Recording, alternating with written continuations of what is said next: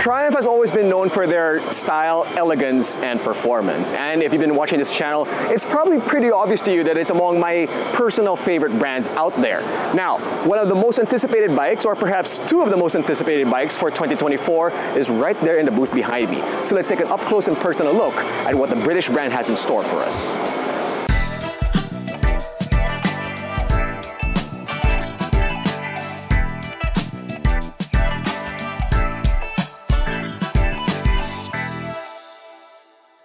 Triumph motorcycles stand out for their exceptional blend of timeless design and cutting-edge performance.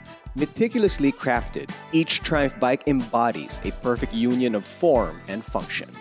From classic cruisers to agile sport bikes and even big ADVs, Triumph caters to a diverse range of riders, ensuring there's a perfect match for every enthusiast. Experience the thrill of precision engineering, iconic style, and a ride that transcends the ordinary with Triumph, where excellence meets the open road. The iconic Thruxton, which is my favorite looking Triumph, has been a perfect fusion of retro aesthetics and modern performance. With its cafe racer inspired design, the Thruxton has paid homage to the golden era of motorcycling while integrating advanced technology seamlessly. Its powerful engine, responsive handling, and refined details create a riding experience that's both nostalgic and exhilarating. The Thruxton stands as a symbol of Triumph's commitment to heritage, delivering a timeless blend of style and substance that captivates riders and admirers alike. Sadly, this is the final edition.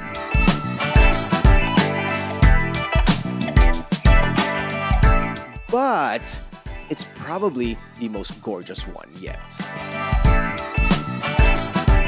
The new 2024 Tiger 900, which was officially launched recently, was also on display. The bike has undergone significant improvements, whether in terms of engine, which is 9% more economical, plus in terms of aesthetics and ergonomics as well.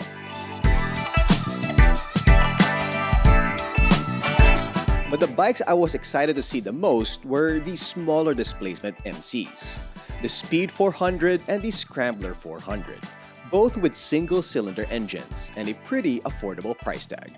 I love modern classics, and the Speed 400 has all the iconic Triumph style and build quality. Honestly, it doesn't look like a 400cc. I thought it would be smaller, but it does look proper. Of course, I've yet to test it on road. I just gotta sit in it for a bit. But it does feel like a proper motorcycle. To the untrained eye, people wouldn't know this was much different from bigger displacement Neo Retros. And people are saying, is it a real Triumph? Well, yes, from where I'm standing and looking at the fit and finish, it's a real Triumph. Sure, it's a joint venture with Bajaj, but so what? That's the way the world works nowadays. I can't wait to get my hands on a test unit and try it out. Now, I don't expect it to be a high-performing MC, but I think it would be a great bike for the city that just so happens to be expressway legal in the Philippines. The Scrambler version of the 400 looks even more like a bigger displacement motorcycle. In fact, I had to double take to make sure it was the 400. I honestly thought it was the 900 I was looking at, at first. I love the styling, I just wish it had spoke wheels. Aside from that, I think this would be the more favorable one for most riders looking for a smaller displacement motorcycle.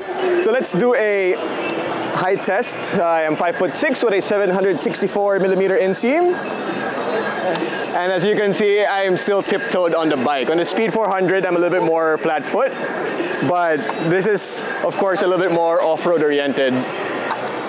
But this is still pretty good. These two bikes are going to hit Philippine shores early 2024. And I think they are perfect for people who are starting out in their riding journey and for people who are looking for a second bike to ride around the city. Now, I can't comment much on the performance of the bikes just yet, but judging from what some friends have told me who have tried them out, I think these are going to be winners and it's going to bring a lot more fans to the British brand. This was our final installment of our EICMA specials, and I'd like to thank all the manufacturers and brands who helped with these videos the past few weeks. And hope you guys enjoyed seeing what is to come to the Philippine shores in the very near future. From Milan, Italy for EICMA 2023, this has been Jinno Rufino.